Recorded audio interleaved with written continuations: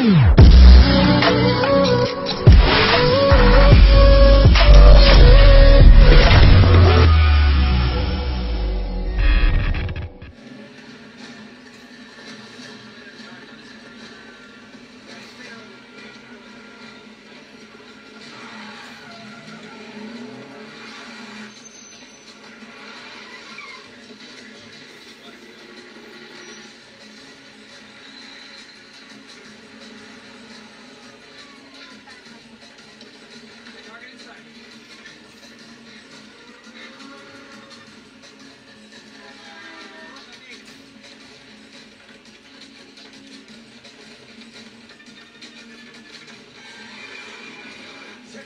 Port Authority. All agents have shoot on sight authorization.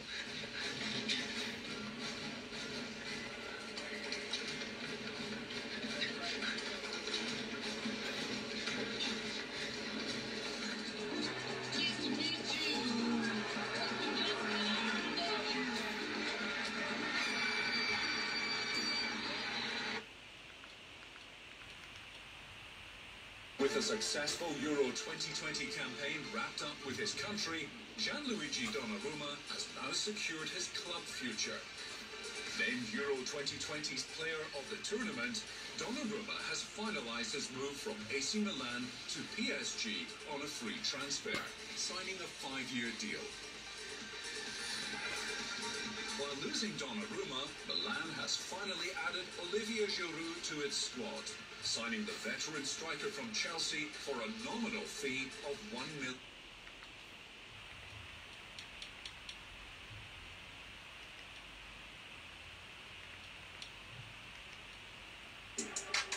He's always driven.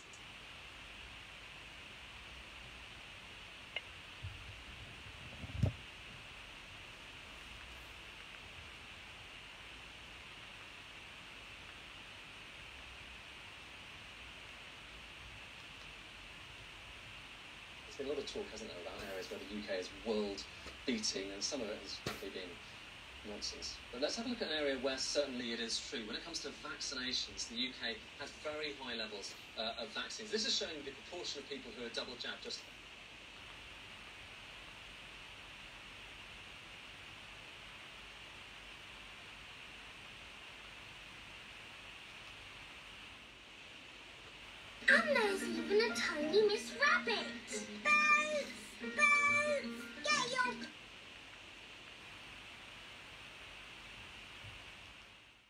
you